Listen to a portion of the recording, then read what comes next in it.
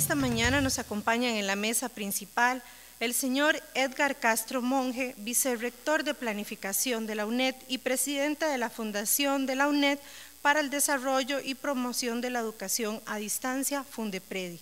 Él nos acompaña también en representación del señor Luis Guillermo Carpio Malabasi, rector de la UNED la señora Ritama Muñoz Fernández, directora de la Oficina de la Organización de Estados Iberoamericanos en Costa Rica, el señor Alexander Vargas González, director de Recursos Tecnológicos del Ministerio de Educación Pública y en representación del señor ministro Leonardo Garnier, y el señor Humberto Aguilar Arroyo, director de la Escuela de Ciencias Sociales y Humanidades de la UNED.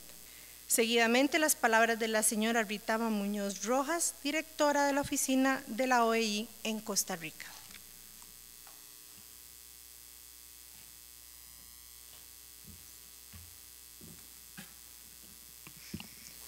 Buenos días. En primer lugar, agradecer la presencia de todos ustedes, saludar a los compañeros de la mesa, Alexander Vargas, Edgar Castro, Humberto Aguilar, y dar la enhorabuena a los responsables de este proyecto por la evolución que está, parece que va a tener y que se ve que tiene nada más empezar. Quiero eh, expresar simplemente mi satisfacción y la de la OEI por formar parte de un proyecto que yo resumiría en el, en el objetivo, en el objetivo maravilloso de hacer de la escuela esa comunidad soñada de lectores, con la que soñamos muchos, con la que siempre nos imaginamos o a la que aspiramos, donde alumnos, maestros, docentes acuden a los libros para comprender mejor el mundo, para soñar, para vivir los sueños de otros, vivir otras vidas, o para disfrutar y compartir una frase, un poema, etc. Y por encima de todo esto, la biblioteca, por supuesto, la biblioteca con ese papel al que también aspiramos, al que, bueno, al que yo creo que, que aspira este proyecto, que es convertirla en esa herramienta para que los ciudadanos entren en contacto verdadero con la cultura y con la creación.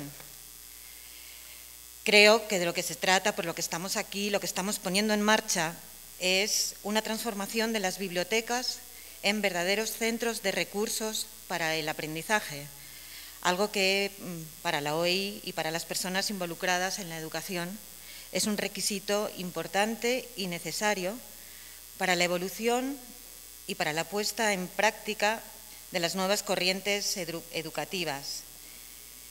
En la OI, en la Organización de Estados Iberoamericanos, trabajamos en la creencia de que las bibliotecas son piezas claves para el logro de los objetivos de las políticas públicas de lectura en sistemas educativos, es decir, piezas claves en el proceso de aprendizaje de los estudiantes, piezas clave en la formación de los ciudadanos del futuro, a estos ciudadanos del futuro que siempre hablamos de ellos cargándoles ya de una responsabilidad tremenda, ¿no? culpándoles de lo que va a ser de lo que se va a hacer mal dentro de muchos años y ya les estamos preparando para que para que acarreen con todas esas cosas. Yo creo que no, que a los ciudadanos del futuro sobre todo hay que enseñarles a, sentir placer, a disfrutar con las cosas y qué mejor que los libros y qué mejor que las bibliotecas, que cuidar las bibliotecas, nuestras bibliotecas, que es donde están los sueños y el disfrute de, los ciudadanos del futuro. Eh, por todo esto, este proyecto que nos, que nos reúne hoy, hoy, hoy aquí es una de las piezas importantes de otro gran proyecto de un proceso de cambio en la educación iberoamericana que ha emprendido la Organización de Estados Iberoamericanos y que se aprobó, este, este, este, gran proyecto de cambio educativo, se aprobó en la Cumbre de Jefes de Estado y de Gobierno de Argentina en 2010. Se trata del programa Metas 2021, la educación que queremos para la, para la generación de los bicentenarios. En este documento, como digo, aprobado por los jefes de Estado y de Gobierno en Argentina, se establece, entre otros objetivos, el compromiso de apoyar iniciativas innovadoras para incorporar la lectura en los diferentes materiales escolares y fortalecer el funcionamiento de las bibliotecas escolares. Y aquí cito al secretario general de la Organización de Estados Iberoamericanos, Álvaro Marchesi, que dice que si finalmente los alumnos y los profesores se convencen de que la lectura tiene un papel decisivo en sus aprendizajes y en sus vidas, se habrá dado un paso enorme en el mejoramiento de la calidad educativa. Habremos contribuido, además, de alguna manera a la felicidad de todos. Muchas gracias.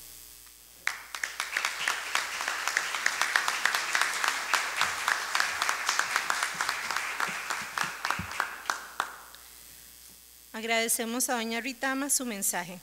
Continuamos con las palabras del señor Edgar Castro Monge, vicerrector de la UNED y presidente de Fundepredi.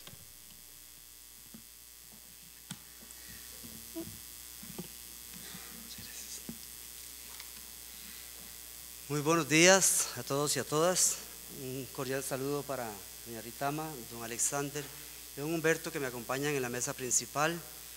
Un cordial saludo para doña Rosario Solano, coordinadora del programa de, bibliotecología de la Universidad Estatal a Distancia, para la señora directora de la Biblioteca Nacional y todos los colegas profesionales en la rama de bibliotecología que nos acompañan y también un saludo cordial para los funcionarios de la UNED y demás universidades que nos acompañan el día de hoy. La verdad que eh, muy contento de estar hoy en este campus universitario Fernando Bolio Jiménez, sede central de nuestra querida institución UNED, llevando a cabo la inauguración del Censo y Diagnóstico Nacional de Bibliotecologías Escolares y Centros de Recursos de Aprendizaje. Esta tarea ha sido asignada a la UNED por parte del Ministerio de Educación Pública y nos sentimos halagados por ello. Para llevar a cabo este importante proyecto en el país, contamos con la colaboración del programa de bibliotecología de la Escuela de Ciencias Sociales y Humanidades de la UNED y el apoyo de la Fundación de la UNED para la promoción y el desarrollo de la educación a distancia Fundepredi.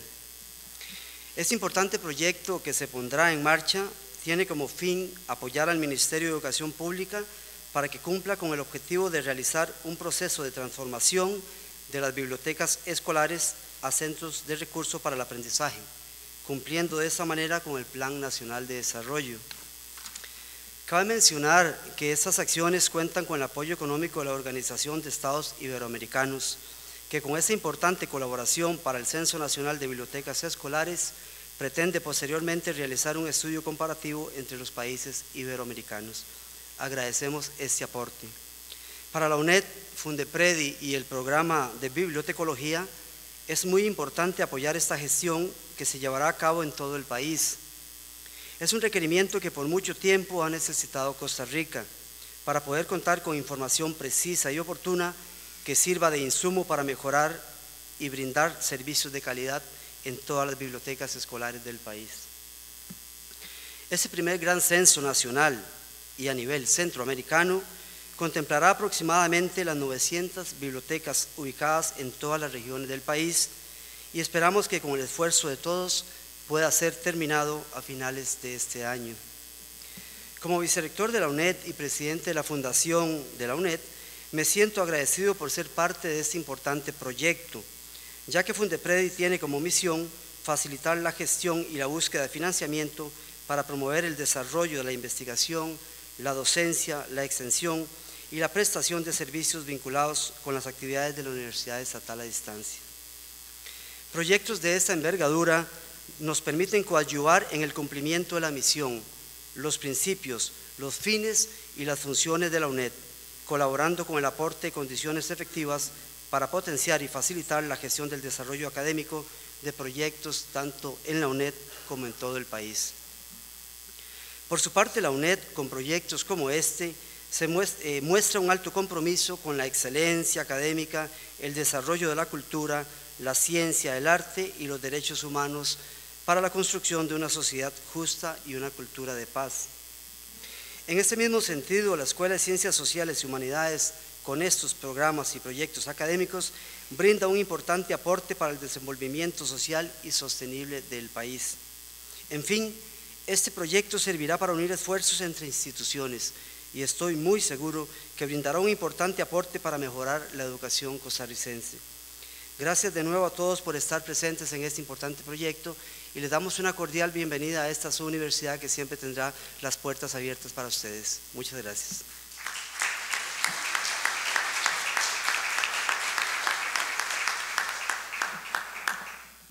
Muchas gracias a don Edgar por su mensaje.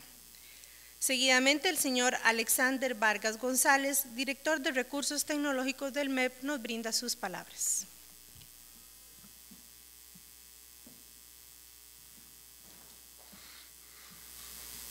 Muy buenos días. Eh, primeramente, eh, dar las disculpas del caso. El ministro quería estar el día de hoy, pero por algunos eh, asuntos de último momento no pudo estar. quiere enviarle un cordial saludo, decirles que tanto para él como para mí como director de recursos tecnológicos, eh, este proyecto es de vital importancia, como lo dijeron anteriormente los compañeros. Eh, esto implica metas que tiene la administración, los cuales son eh, fundamentales para promover y, y, mejorar el sistema de bibliotecas. cuando llegamos a bibliotecas escolares, porque como ustedes bien saben, esto eh, vino por medio de un decreto en donde pasó de la dirección de curricular a la dirección de recursos tecnológicos. Cuando nos sentamos a conversar con el departamento, eh, hicimos muchas preguntas, nos sentamos a hablar y dijimos, bueno, ¿cuántas bibliotecas hay? ¿Qué hacen? ¿Cuáles son sus debilidades? Eh, como obviamente como director de recursos tecnológicos preguntamos, tienen equipamiento, tienen conectividad. Eh, hicimos toda una serie de preguntas para ver hacia dónde podríamos eh, iniciar este gran proyecto. Gracias a los diferentes esfuerzos de las autoridades superiores, gracias a OEI, este, se pudo dar este primer gran censo que estábamos necesitando para poder obtener esta información, para poder obtener eh, en dónde nos está doliendo, qué nos hace falta, eh, qué nos están solicitando ustedes y hacia dónde podemos fortalecerlos. Entonces, muy contentos con esta iniciativa, eh, unirnos, creo que sin, temor a equivocarme, al tercer país en realizar este censo. Ya lo tuvo Chile, ya lo tuvo México y estamos nosotros realizando este censo tan importante y relevante para el país. Y eh, me gustaría concluir con dos frases eh, que me han llenado, digamos, de, mucha satisfacción con este proyecto a la luz del día de hoy. Una es en palabras de Edgar Morin en su discurso y documento de los siete saberes que dice, el conocimiento es navegar en un océano de incertidumbres a través de un archipiélago de certezas. Tenemos claro que por mucho tiempo el Departamento de Bibliotecas Escolares, el sistema de bibliotecas escolares, ustedes mismos hemos navegado en este gran océano de incertidumbres donde deseamos que alguien nos rescate. Hoy en día contamos con un ministro, con este director, con un departamento comprometido, con las universidades, eh, con socios estratégicos como OEI y como eh, el Colegio de Bibliotecólogos, que hemos apostado por eh, este archipiélago de certezas donde queremos proponerles a ustedes grandes cosas y hoy es un salto más eh, promoviendo este censo. Y terminar con la siguiente frase también que dice, los dioses eh, nos dan muchas sorpresas, lo esperamos o lo que esperamos no se cumple, pero para lo inesperado siempre hay un Dios que abre una puerta y el censo es una puerta que se abre y esperemos le podamos sacar el mayor fruto. Muy buenos días.